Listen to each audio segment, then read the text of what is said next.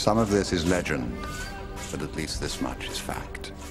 When rioting citizens of France destroyed the Bastille, they discovered within its records this mysterious entry.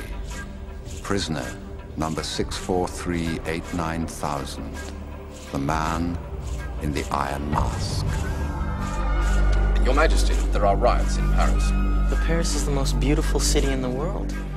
Why should my people feel anything but pride and contentment? I am a young king, but I am king. Then be a good king.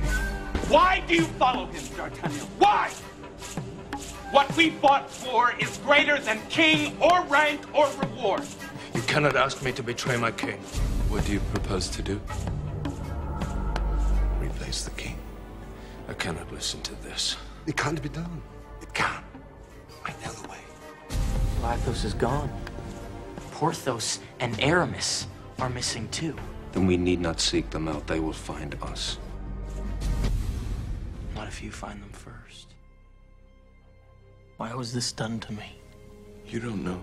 I was summoned to a rear door of the palace. The Queen had given birth to twins that night. We will replace Louis with Philippe.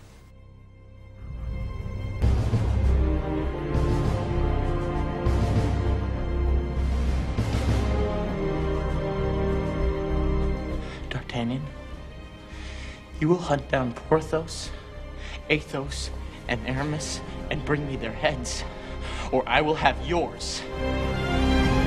If we fail in this attempt, I'll be honored to die beside you.